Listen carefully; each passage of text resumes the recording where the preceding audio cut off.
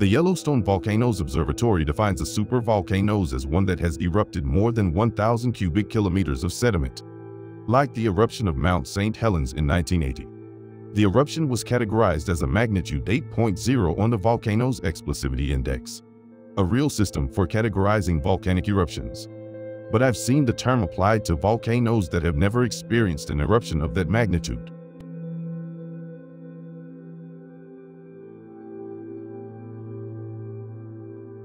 Poland gives the example of the Campi Flegrei volcanoes in Italy.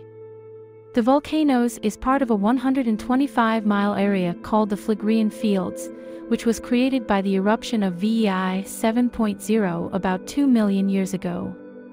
The famous Mount Vesuvius, which destroyed the Roman city of Pompeii in 79 AD, is in the same region.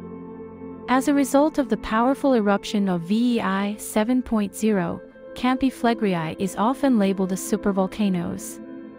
But based on the accepted definition, Poland says it never technically qualified.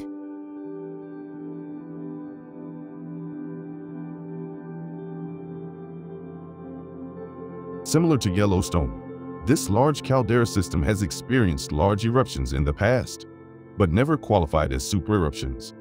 There is always the possibility that Campi Flegrei experiences a VEI 8.0 eruption and holds the title of supervolcanoes.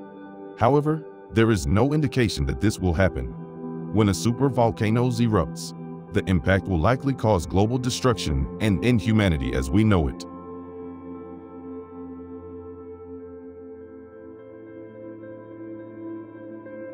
That's Poland's third reason why he doesn't like calling Yellowstone a supervolcanoes. This shows that when a very large volcano erupts the impact will be detrimental to humanity. This means that volcanoes only experience very large eruptions, even though the more common type of activity is smaller lava flows. Yellowstone has experienced several dozen lava flows since the last major explosion.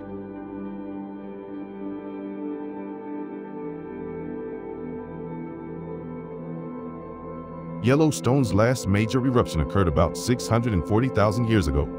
That's when this mountain was called a supervolcanoes, because its eruption had a VEI strength of 8.0. Meanwhile, Yellowstone's last eruption was in the form of a large volume of lava flow. There are no dramatic explosions, and the lava moves less smoothly than a used Liquid-Plumr bottle.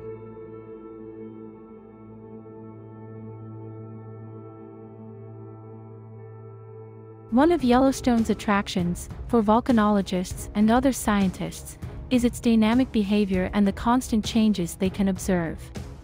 One big eruption is a bit boring by their standards.